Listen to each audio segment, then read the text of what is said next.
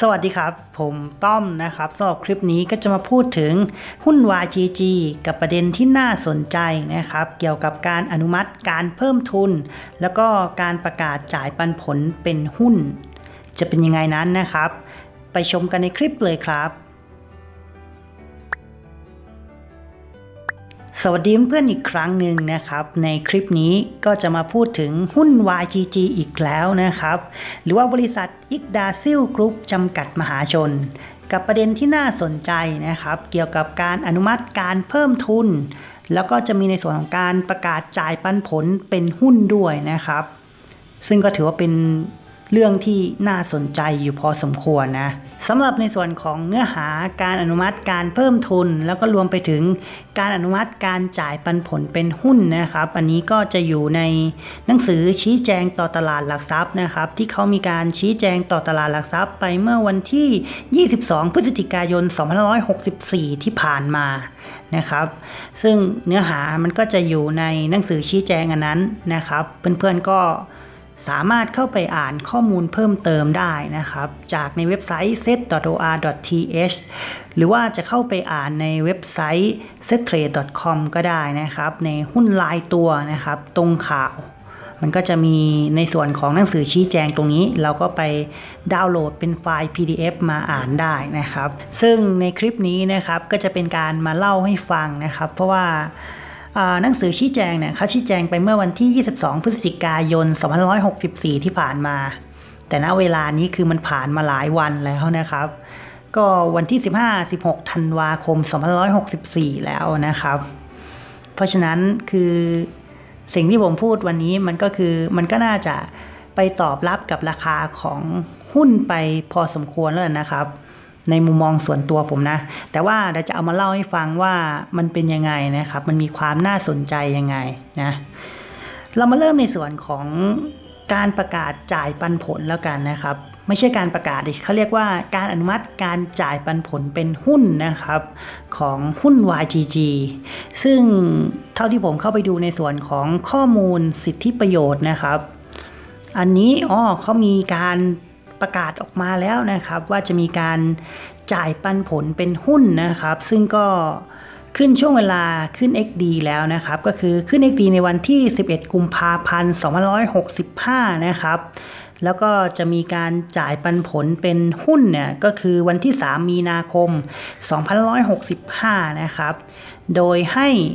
2 หุ้นนะครับ 2.90322หุ้นนะครับ ก็จะได้หุ้นปันผล 1 หุ้นนั่นเองนะครับ ประมาณ 3 หุ้นก็จะได้ 1 หุ้นใหม่อะไรประมาณนี้นะครับ ก็คือจะต้องถือไปจนถึงวันที่ 11 กุมภาพันธ์2565 นะครับ ถึงจะมีสิทธิ์ได้รับหุ้นปันผลในครั้งนี้นั่นเอง โดยในเนื้อหานะครับ ในหนังสือชี้แจงต่อตลาดหลักทรัพย์เนี่ยเขาก็ได้พูดถึง การจ่ายปันผลเป็นหุ้นนะครับ ก็จะเป็นการจ่ายปันผลสำหรับผลประกอบการงวดราย 9 เดือน นะครับตั้งแต่วันที่ 1 มกราคม 2564 ถึงวันที่ 30 กันยายน 2564 ซึ่งก็คือเป็นกำไรสะสมนะครับ โดยจะเป็นการจ่ายเป็นหุ้นสามัญของบริษัทให้แก่ผู้ถือหุ้น ตามอัตราส่วน 2.9032251หุ้นเดิมนะครับ ต่อหนึ่งหุ้นใหม่นะครับ ซึ่งก็จะเป็น หุ้นปันผลของเขานั่นเอง ซึ่งจำนวนการปันผลครั้งนี้นะครับก็คือไม่เกิน 62 ล้านหุ้นนะครับมูลค่าที่ตราไว้ในหุ้นหรือว่าราคาพาก็คือ 50 สตางค์ต่อหุ้น รวมมูลค่าทั้งสิ้นนะครับไม่เกิน 31 ล้านบาท หรือถ้าคิดเป็นจำนวนเงินนะครับก็จะเทียบเท่าอัตราการจ่ายปันผลจำนวน 17 สตางค์กว่าต่อหุ้นนะครับ อันนี้ตามที่เขาระบุมานะ ในกรณีที่ผู้ถือหุ้นรายใดนะครับ มีเศษของหุ้นจากการจัดสรรหุ้นปันผลดังกล่าวนะครับ ทางบริษัทก็จะจ่ายปันผลเป็นเงินสดแทนให้นะครับ โดยที่เงินปันผลทั้งหมดที่ได้รับนะครับ ก็จะได้รับการยกเว้นการหักภาษีหน้าที่จ่ายตามกฎหมายกำหนด เนื่องจากเงินปันผลดังกล่าวนะครับ ก็เป็นกำไรสุทธิที่ได้รับจากกิจการที่ได้รับการส่งเสริมจากคณะกรรมการส่งเสริมการลงทุนนะครับ หรือว่า BOI ประเด็นต่อมานะครับ ก็จะเกี่ยวกับการอนุมัติการเพิ่มทุนของตัวบริษัทนะครับ ซึ่งทางบริษัทก็ได้มีการอนุมัติการเพิ่มทุนของทางบริษัทจำนวน 256 ล้านบาทนะครับ จากทุนจดทะเบียนเดิมเนี่ยอยู่ที่ 90 ล้านบาท ดังนั้นเมื่อรวมกันแล้วนะครับ ทุนจดทะเบียนทั้งหมดของบริษัทจะอยู่ที่ 346 ล้านบาทนะครับ โดยที่จะแบ่งเป็นการออกและเสนอขายหุ้นสามัญเพิ่มทุนนะครับจำนวน 512 ล้านหุ้น ซึ่งมีมูลค่าที่ตราไว้ในหุ้นเนี่ยหรือว่าราคาพานะครับอยู่ที่ 50 สตางค์ต่อหุ้น ซึ่งก็มีรายละเอียดดังต่อไปนี้นะครับ อันแรกเลยก็จะเป็นการออกและเสนอขายหุ้นสามัญเพิ่มทุน ให้แก่ผู้ถือหุ้นรายเดิมนะครับจำนวนไม่เกิน 360 ล้านหุ้นนะครับ ซึ่งก็จะคิดเป็นทุนจดทะเบียนจำนวนไม่เกิน 180 ล้านบาทนะครับต่อมาก็จะเป็นการออกหุ้นสามัญเพิ่มทุน เพื่อรองรับการใช้สิทธิ์ตามใบสำคัญแสดงสิทธิ์ครั้งที่ 1 นะครับ หรือว่า YGG ขีด Warrant 1นะครับจำนวน 90 ล้านหุ้น นะครับ ซึ่งก็คิดเป็นทุนจดทะเบียนจำนวน 45 ล้านบาท แล้วก็อีกที่เหลือจำนวน 62 ล้านหุ้นนะครับ หรือคิดเป็นทุนจดทะเบียนอยู่ที่ 31 ล้านบาท ก็จะเป็นหุ้นสามัญเพิ่มทุนเพื่อรองรับการจ่ายปันผลระหว่างการในครั้งนี้นั่นเองนะครับ ทีนี้นะครับเรามาลงรายละเอียดกันนะครับ ในส่วนของการจ่ายปันผลเนี่ยผมก็ได้อธิบายไปตอนแรกแล้ว ก็จะขอข้ามนะครับ มาดูในส่วนของการเพิ่มทุนนะครับ ซึ่งการเพิ่มทุนเนี่ยทางหุ้นนะครับเขาก็จะมีการกำหนดสิทธิ์ของผู้ที่ได้รับสิทธิ์ในการซื้อหุ้นเพิ่มทุนนะครับ หรือตอนที่ขึ้น XR เนี่ยวันที่ 11 กุมภาพันธ์2565 นะครับ ก็คือปีหน้านะเขาก็จะให้สิทธิ์นะครับพูดถึงหุ้นรายเดิมเนี่ยหนึ่งหุ้นเดิมนะครับจะสามารถซื้อหุ้นสามัญเพิ่มทุนออกใหม่ได้ 2 หุ้นนะครับ หรือว่า 1 ต่อ 2 นั่นเอง โดยที่ราคาเสนอขายนะครับก็คือหุ้นละ 50 สตางค์นะครับ อันนี้ฟังไม่ผิดนะ ตามที่ผมอ่านในหนังสือชี้แจงต่อตลาดหลักทรัพย์นะครับ ก็คือเขาจะเสนอขายหุ้นละ 50 สตางค์นะครับ ให้แก่ผู้ถือหุ้นรายเดิมที่ได้รับสิทธิ์ในการซื้อหุ้นเพิ่มทุนในครั้งนี้ ก็หุ้นหนึ่งนะครับ ก็เพิ่มเงินอีกบาทหนึ่งก็จะได้จำนวน 2 หุ้นแล้ว ซึ่งราคาของหุ้น YGG ในปัจจุบันเนี่ยเท่าไหร่นะ 30 กว่าบาทนะครับเท่าที่ผมดูเนาะส่วนสำหรับการแจกวอลเลน YGG ขีดวอลเลน1นะครับ ก็จะขึ้น XW วันที่ 11 กุมภาพันธ์2565 เช่นกันนะครับ โดยจะให้สิทธิ์แก่ผู้ถือหุ้นรายเดิมนะครับ ที่มีการจองซื้อ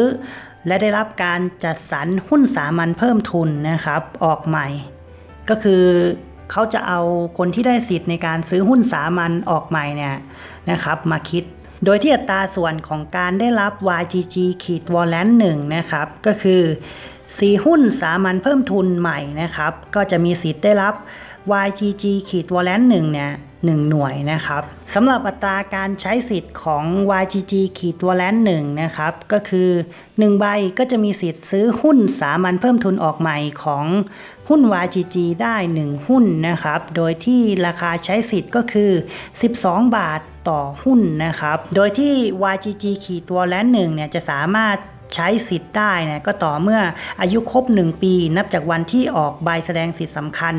YGG ขีด Warrant 1ปัจจุบันนะครับราคาของหุ้น YGG นะครับอยู่ที่ 37 บาทต่อหุ้น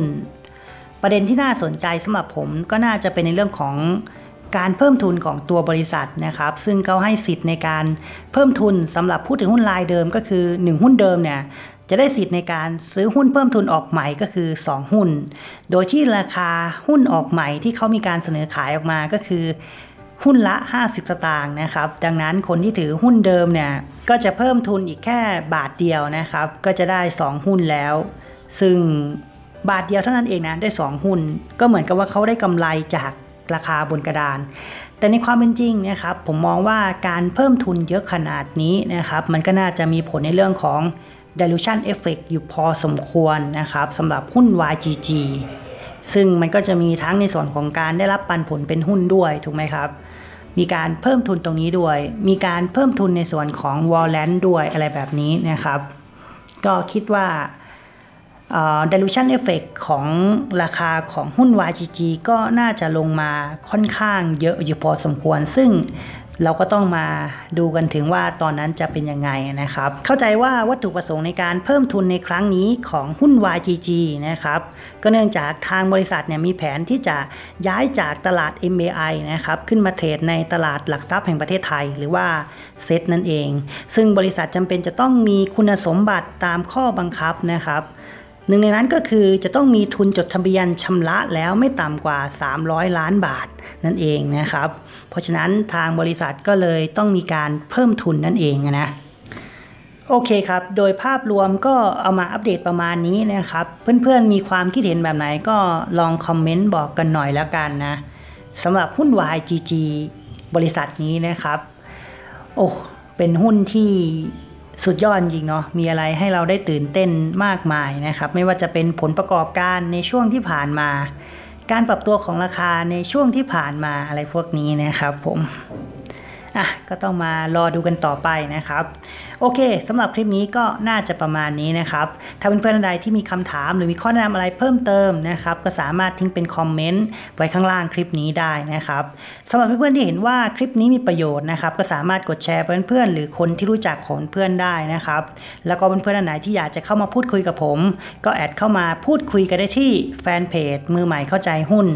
สำหรับคลิปนี้ก็น่าจบแต่เพียงเท่านี้นะครับไว้เจอกันใหม่คลิปหน้าครับคลิปนี้นี้สวัสดีครับ